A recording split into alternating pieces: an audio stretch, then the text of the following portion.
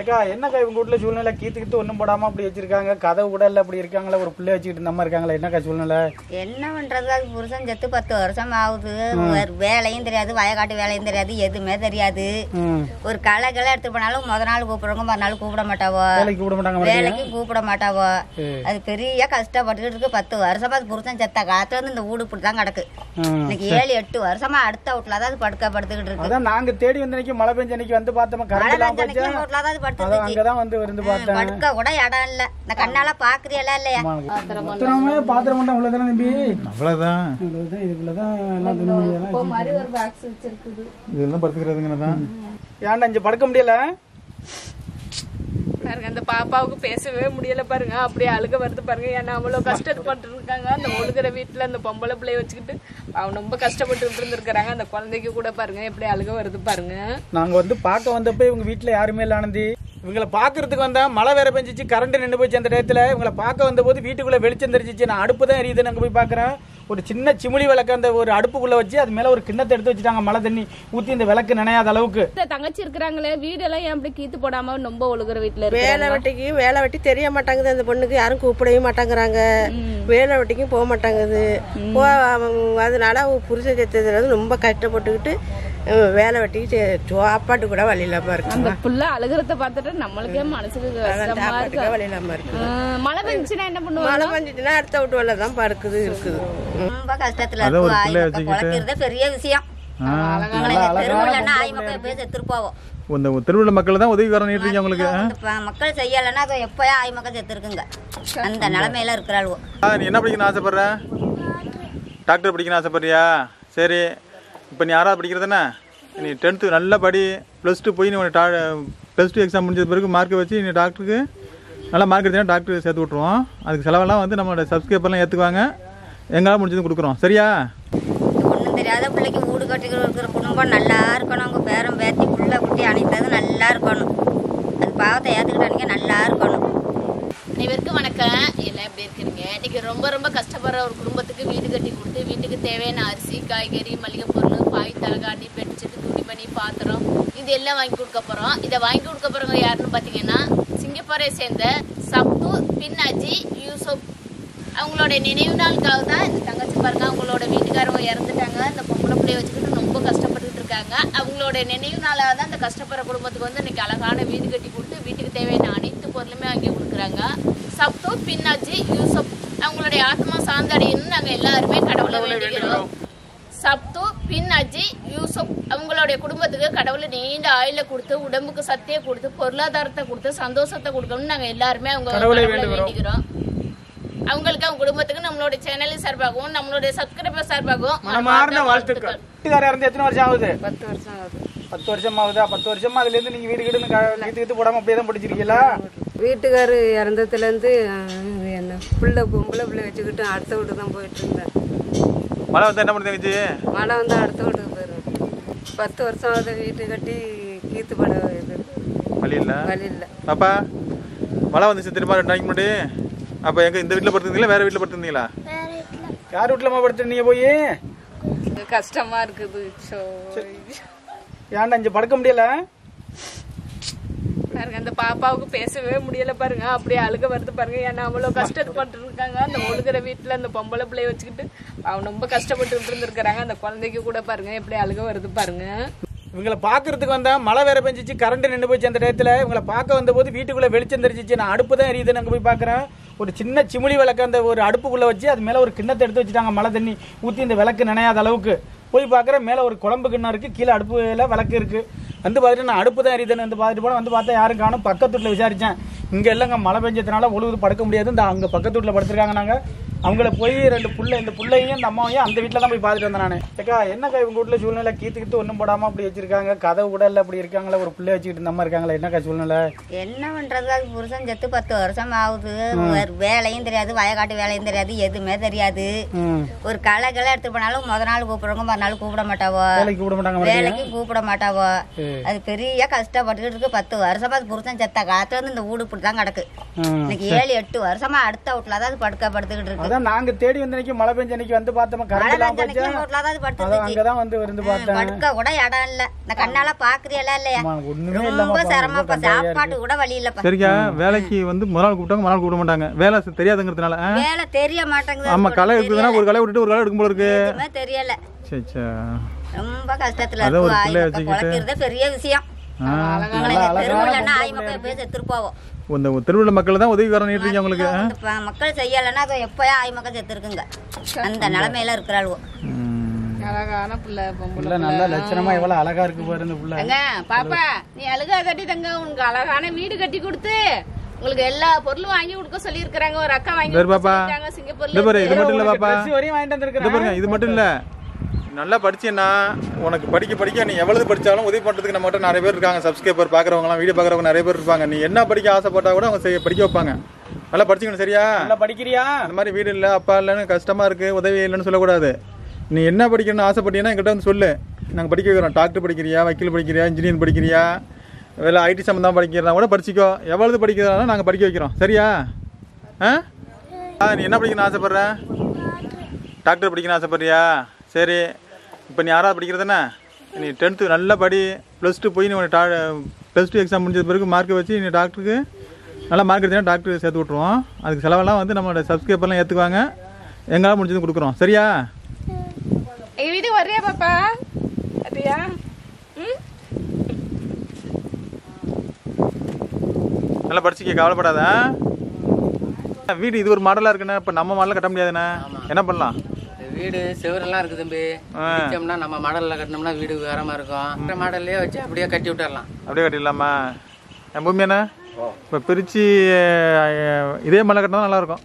அதே மாடலில் கட்டிவிட்டோம்னா பிரித்து மேலே கீழே கிட்டெல்லாம் எடுத்துட்டு அது பிரித்து கட்டினோம்னா அது ஒரு நல்ல மாடலில் நல்லா மாடலாக வந்துடும் இதே மலை கட்டிடலாம்ல?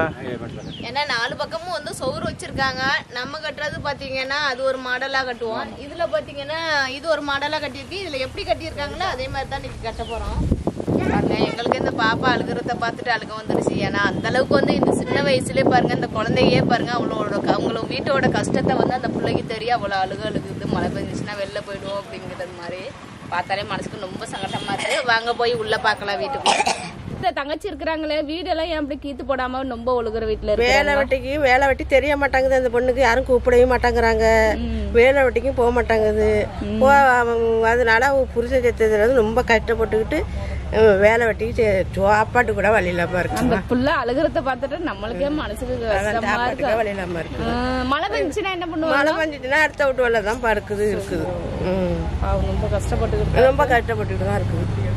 சரிங்க அதுக்காக வந்திருக்கோம் இன்னைக்கு இந்த அதுக்கு தேவையான இந்த அரிசி காய்கறி பாய் தலகாணி பெட்ஷீட்டு எல்லாமே எழுந்திருக்கோம் சரி. ஏதாவதுக்கு நீங்களும் உதவி செய்யுங்க. சரிங்க. வாங்க உள்ள போய் பார்க்கலாம். ஆனந்தி வீட்டுக்குள்ள போய் பாப்போமா நவருமா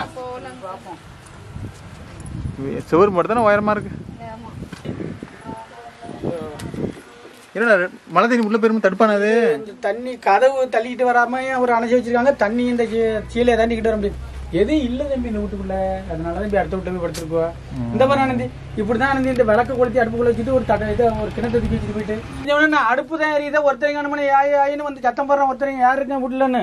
ஒரு பிள்ளைங்க அடுப்பு எரியுது? ஒன்னையும் காணுமே மலைக்கு ஓடி போயிட்டேன்னு பாக்குறேன். விளக்கு தான் கீழே எரிஞ்சிக்கிட்டு இருக்கு. வீட்டுக்காரர் இருந்த போது நல்லா தான் கட்டி இருந்திருக்கான் அந்த பையன். இறந்த பிறகு அதெல்லாம் ஒண்ணும் பண்ண முடியல. இந்த பொண்ணுக்கு வேலை வெட்டிக்கும் கூப்பிடுறது இல்லையா அது போக வேலையும் தெரியாதுங்கிறாங்க இதுக்கும் அதான் ஒரு நாள் மறுநாள் மாட்டாங்களாம். பாவம் ரொம்ப கஷ்டப்பட்டுக்கிட்டு தான் ஏதோ இந்த தெருவில் ஏதாவது அன்னைக்கு எதுவும் சாப்பாடு கொடுக்கறதுனால வச்சு ஏதோ ஓட்டிக்கிட்டு குடும்பத்தை ஓட்டிக்கிட்டு இருக்காங்க. ஒண்ணுமே தான் இல்லையே. பாத்திரம் மட்டும் அவ்வளவுதானே தம்பி? அவ்வளவுதான். அவ்வளவுதான் இதுக்குள்ளதான் எல்லாம் துணி மணி இப்போ மாதிரி ஒரு பாக்ஸ் வச்சிருக்குது. இதெல்லாம் படுத்துக்கிறதுங்க தான். தம்பி நம்ம கட்டுற மாடல் ஒன்றா இருக்கு இது ஒரு மாடலா இருக்க? நம்ம கட்டுறது வேற மாடல் தம்பி எப்போதும் கட்டுறது. இது ஒரு மாடலா இருக்கு. இதே மாடல்ல கட்டிடுவோம் தம்பி அவங்களுக்கு. வீடு ஏன்னா சுவர்கள்லாம் வச்சிருக்காங்க. இதே மாடல்ல கட்டிடுவோம். நம்ம மலை கட்டினா ரொம்ப தூக்கிட்டு இருக்க மாதிரி இருக்கும். ஆணு வாய் வாய் அவருக்கும் அந்த பொண்ணால ஒண்ணும் பண்ண முடியாது. காத்து கத்து அடிச்சிச்சுன்னா அதனால இதே மாடல்ல கட்டி கொடுத்துருவோம் வீட்டை. சரி. பிரிக்க ஆரம்பிக்கலாமா பிரிச்சுட்டு கட்ட ஆரம்பிச்சிடலாம். இந்தாங்க பட்டு பேங்க வச்சிருக்கேன் பாருங்க. பக்கத்து வீட்டுக்காரவங்க எல்லாருமே வந்து ஹெல்ப் பண்ணிட்டு இருக்கிறாங்க கட்டது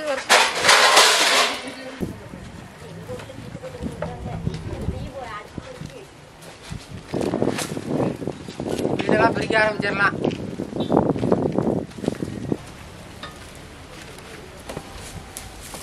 பையுள்ளே இருக்கு ஒரு அருவான்னு இருக்கு. எல்லாம் பிரிச்சுட்டு இருக்கிறாங்க. எல்லாம் பிரிச்சு முடிச்சுட்டு கட்டாகும்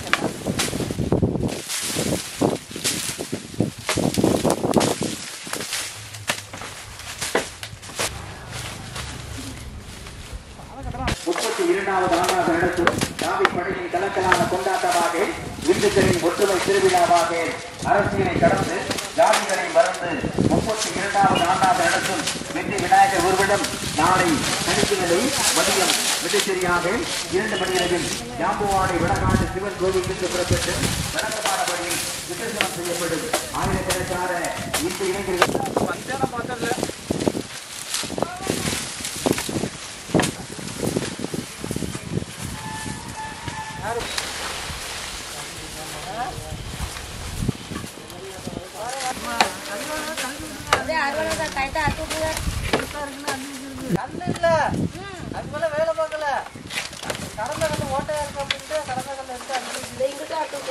தம்பி கல் கிடக்குப்பா உள்ள நிறைய இருப்பாங்க உள்ள.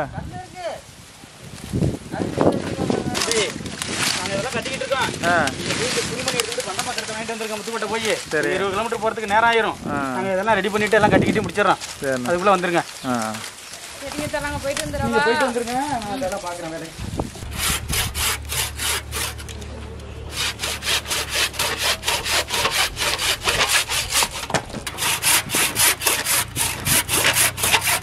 டீத்தெல்லாம் போட்டு முடிச்சாச்சு இப்போ மோடு ஊற்றிட்டு இருக்கிறோம்.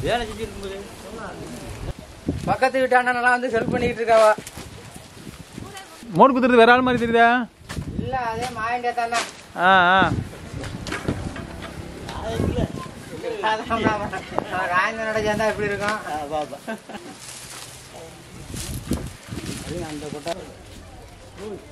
ஆ. இது அப்படியே தரவா? எவரு டீ வடை சாப்பிட்டுட்டு இருக்கோம் இப்போ வடை சரி, சாப்பிட்டுக்கிட்டு இருக்கோம் ஆனந்தி டீ ஊத்துது. பாப்பா இங்க வா. சாப்பிடு நல்லா இருக்கா இது அம்மாட்ட கொடு. இந்தாங்க. ஒரு டம்ளர் எடுத்து வந்து ஊத்திக்கங்க. உங்களுக்கு எல்லாம் டீ போதும்லங்க தான் சாப்பிட உட்காந்து மீன் குடி குடி. காலைல சோறு திட்டியாது இல்லையா? வித்தியாசமா சாப்பிடுது பாப்பா. நினச்சி அப்படி வடையாண்ணா? ஒன்ன மாதிரிண்ணா? அது அவன் தொண்டை அடைக்கிற மாதிரி இருந்துச்சு அதான் நினச்சிக்கிட்டே ஈஸியாக போகுது.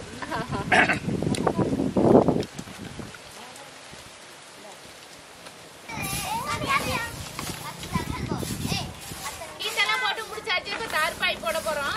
சரி எனக்கு ஒன்று இது ரைட்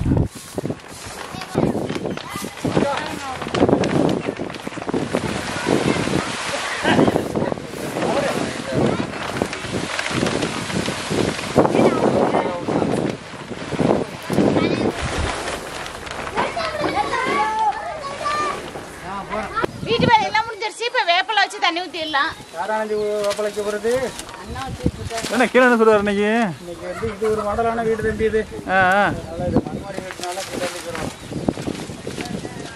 இருக்கிற மாடலாம் கட்டியாச்சு அப்படியா?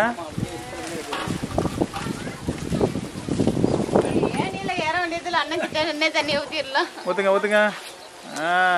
தலையை காட்டுங்கண்ணா அப்படியே. அது கிண்ணியா லேஜா வீட்டு வேலையெல்லாம் முடிஞ்சிருச்சு உள்ள போய் பார்க்கலாம். அண்ணா உள்ளே போய் பார்த்தாலும் இருட்டாக இருக்கும் இப்போ அங்கே பொழுது மணி ஏழா போகுதுல ஆறரை ஆயிட்டு. இதுக்குள்ள வெளிச்சம் தெரியாது இருட்டெல்லாம் இருக்கு ஆ.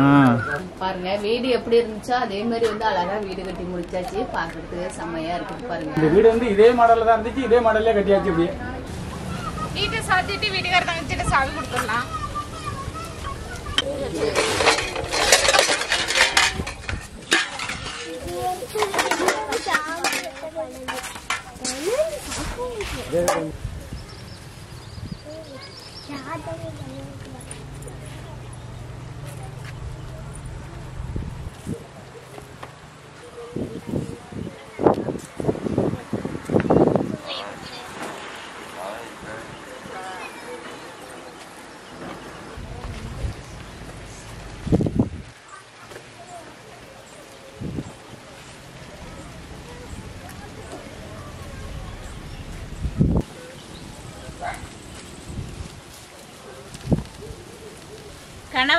இழந்த இந்த கஷ்டப்படுற குடும்பத்துக்கு வந்து இன்னைக்கு அழகான வீடு கட்டி கொடுத்து வீட்டுக்கு தேவையான அனைத்து பொருளுமே வாங்கி கொடுத்துருக்காங்க. இதை வாங்கி கொடுத்தவங்க யாருன்னு பாத்தீங்கன்னா சிங்கப்பூரை சேர்ந்த பின் அஜி யூசப்.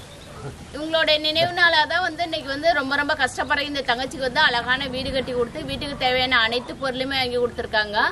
அவங்களுக்கு அவங்க குடும்பத்துக்கும் கடவுளை நீண்ட ஆயில கொடுத்து உடம்புக்கு சக்தியை கொடுத்து பொருளாதாரத்தை கொடுத்து சந்தோஷத்தை கொடுக்கணும் நாங்க எல்லாருமே கடவுளை வேண்டுகிறோம். சப்து பின் அஜி யூசப் அவங்க குடும்பத்துக்கு கடவுளை நீண்ட ஆயில கொடுத்து உடம்புக்கு சக்தியை கொடுத்து பொருளாதாரத்தை கொடுத்து சந்தோஷத்தை கொடுக்கணும்னு நாங்க எல்லாருமே அவங்க கடவுளை வேண்டிக்கிறோம். அவங்களுக்கு அவங்க குடும்பத்துக்கு நம்மளோட சேனல் சார்பாகவும் நம்மளுடைய சப்ஸ்கிரைபர் சார்பாகவும் மனமார்ந்த வாழ்த்துக்கள். ரொம்ப கஷ்டப்பட்டுக்கிட்டு இருந்தேன் வீடு கட்டாமல் இந்த இந்த ஜாமான் வாங்கி கொடுத்தவங்களுக்கு நன்றி. வீடு கட்டி கொடுத்ததுக்கு நன்றி. இந்த இந்த உதவியை சாகர வரணும் மறக்க மாட்டேன் ரொம்ப பத்து வருஷமாக புருஷனை சாக கொடுத்து ரொம்ப கஷ்டப்பட்டுருக்குப்பா.